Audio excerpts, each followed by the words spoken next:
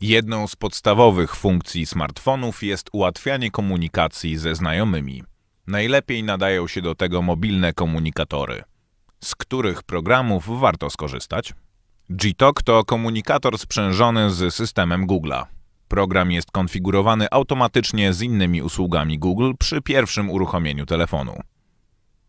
Aby rozpocząć korzystanie z niego, wystarczy otworzyć menu z aplikacjami i odnaleźć ikonę Talk. Zaraz po uruchomieniu pojawia się lista kontaktów z wyszczególnieniem kontaktów dostępnych na górze. Google Talk działa sprawnie, a wiadomości pojawiają się w nim w tym samym czasie co w komputerowej i przeglądarkowej wersji. Komunikator Google nie obsługuje niestety innych protokołów i w obecnej wersji nie umożliwia korzystania z połączeń wideo. Oficjalny Skype dla Androida pojawił się w markecie zaledwie parę miesięcy temu. Skype dla Androida oferuje prosty i przemyślany interfejs, który składa się z czterech zakładek.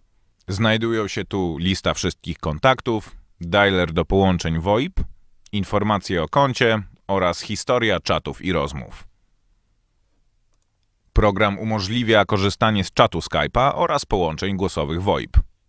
Połączenia działają prawidłowo, a wkrótce mogą zostać wzbogacone o tryb wideo.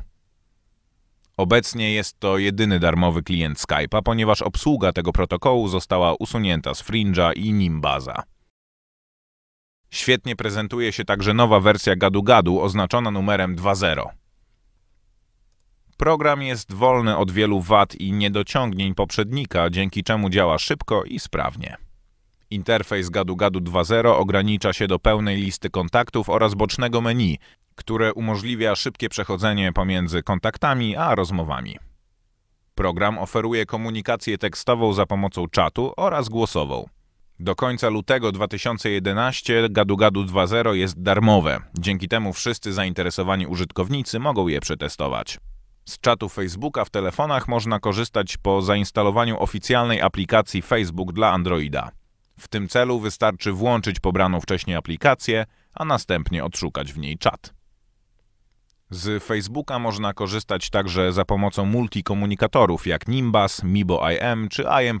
Spośród nich najlepiej prezentuje się IM+.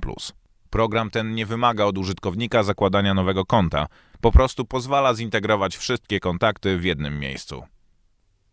Obsługuje on niemal wszystkie popularne protokoły jak Jabber, ICQ, Facebook, Gtalk, AIM czy Yahoo. Wspiera także Skype'a, ale tylko w wersji płatnej. W zestawieniu nie umieściliśmy takich programów jak Nimbus i Fringe, które bez Skype'a i gadu-gadu straciły na popularności.